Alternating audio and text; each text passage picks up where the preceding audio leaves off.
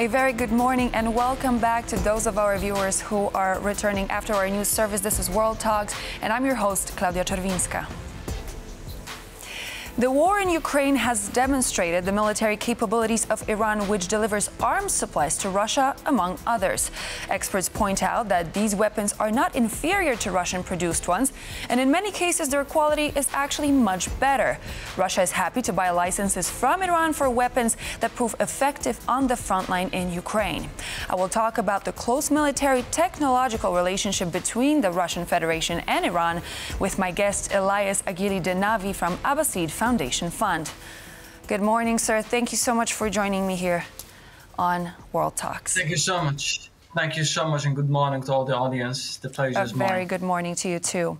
So, as we're looking at this recent Iranian massive uh, ballistic attack and drone attack on Israel, this shows that despite the um, the support lines and the defense lines when it comes to missiles in Israel, which are made of um, different defense systems that are provided by the allied countries such as the U.S., the U.K., and France, um, some missiles have actually reached the targets. We know of nine hits that were reported.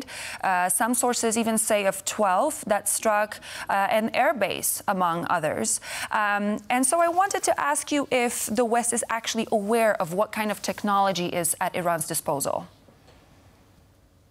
Well, uh, it's indeed a question of uh, many news agency and uh, also uh, the security studies scholar that what technology the Iranians are using at the moment. And in order to answer this very vital question, uh, it's crucial for us to go through the history to understand how uh, the uh, Iranian technology regarding the use of missiles have evolved during the past uh, four decades.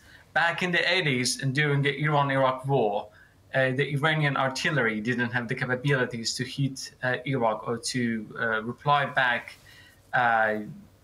kind of based on a plan or based on a, a military schedule. The artillery could only hit uh, like uh, in a depth of 35 kilometers into Iraq. So the Iranians started to uh, have some kind of negotiations with some neighboring and far neighboring countries.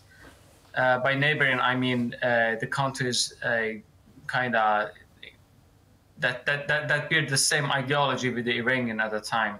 Libya was one of those countries that helped Iran, and uh, they gave them uh, 30 Scud Class B missiles with the relevant military consultants. Uh, after uh, the Iranians bought missiles from Libya, they started to retreat. So the, the, they hit Kirkuk as their first target. After that, the Arabian countries started to, uh, to put the pressure on the Libyan government, and the military consultants left Iran, leaving all the missiles not useful. So the Iranians started uh, what we call now the reverse engineering from the 80s. So from the 80s till now, they have invested heavily in this technical evolution. After the uh, Islamic Revolution, and the uh, weapon uh, sanctions that were imposed uh, on the Iranian government, the cheapest and easiest way to uh, kind of increase the defense capabilities uh, for Iran was to invest on missiles, because missiles, missiles, they don't need pilots, and uh, you don't need to invest on the human resources to control them. Uh, I can say that based on the international statistics from Global Fire to other uh, informative sources, the Iranian missile program is one of the most complex and effective ones internationally. Iran mm-hmm. has the biggest and largest uh, missiles arsenals in the Middle East, and uh, with a variety of missiles ranging from short range uh, missiles to medium range cruise to ballistics. So uh, you you said that um, in terms of missiles, they're they're very advanced because that's what they're focusing on. So my counter question would uh, be: Does Israel have appropriate technology? Because we know that Israel has a lot of great technology. For example, the very famous uh, Iron Dome that has been extremely successful, extremely expensive at the same time, but successful at shooting down those missiles and drones during the previous attack as well. Uh, but do they have appropriate technology in order to be able to counter those attacks, considering those hits that we saw only recently? Well, uh, it's really important uh, to focus on uh, the realities of the battlefield and the, the, the, tactics and techniques that the both sides are using. The previous attack, uh, if you go, th- go through the articles and proposals presented by scholars in terms of security studies or military studies, was more like a simulation attack. The Iranians were testing uh, the defense system of Israel and also the countries in between. Because uh, we saw that the Jordanians and uh, some uh, even uh, airplanes from the US uh, airplane carriers were involved in kind of attacking the missiles that were fired from Iran. So it was to some extent a simulation to check the defense system of Israel and also the other countries involved in the process. Uh, recently, uh, something like eight months ago, if I'm not mistaken, uh, the Iranians uh, un- unveiled a new uh, inventive missile called, uh, if I'm not mistaken, Fattah II. This is a hypersonic cruise missile that can uh, pass a distance of uh, 1,605 kilometers. And this is a very uh, new and up-to-date technology that makes it hard uh, for the Iron Dome to uh, intercept uh, those missiles because the warhead of these missiles interact grouply when detached from the main body of mm-hmm. the missile. So the warheads can be controlled and they can maneuver in a group action. So uh, they, they, they, can be easily controlled uh, within Iran. So this is a very high-tech uh, technology, and I can say that what we are witnessing now is not only a battle of missiles, but also is a battle of a technology. Uh, one offensive and one defensive, and at, at, at one time it's defensive mm-hmm. and offensive. But considering how fast you said the technology went forward in terms of missiles in Iran, the ones that they're currently using, um, how much time, in, uh, according to according to you, do you think that Israel would um, have to spend in order to be able to up their game and to up their uh, technological defenses? Is it possible at all? Well, uh, considering the current condition and situation, uh, I don't think that it's possible to achieve uh, such a defense system in such a short notice because we don't know what's going on in the Middle East. Middle East is a, a region of very interconnected and complex procedures. Uh, we don't know. Uh, we, don't, we are not sure about the intentions uh, of the actors.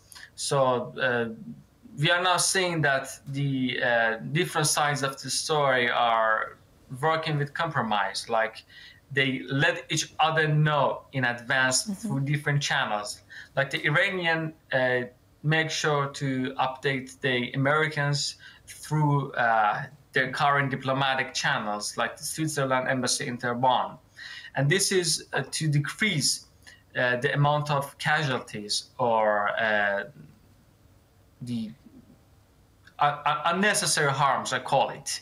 So we can see now that the, the different sides of the story are trying to contain and retrain from escalating the current state of affairs. But at the same time, we cannot predict.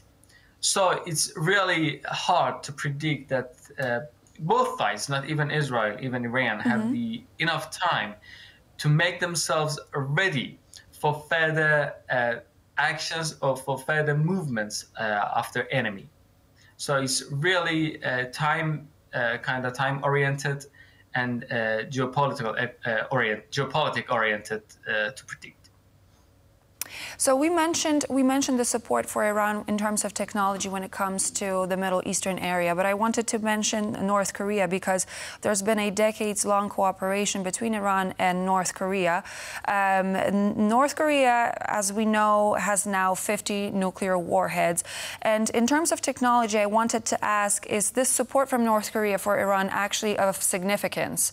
Uh, do we know any numbers? Do we know any figures? Do we know technology that is actually being delivered to Iran from North Korea and how significant that support is?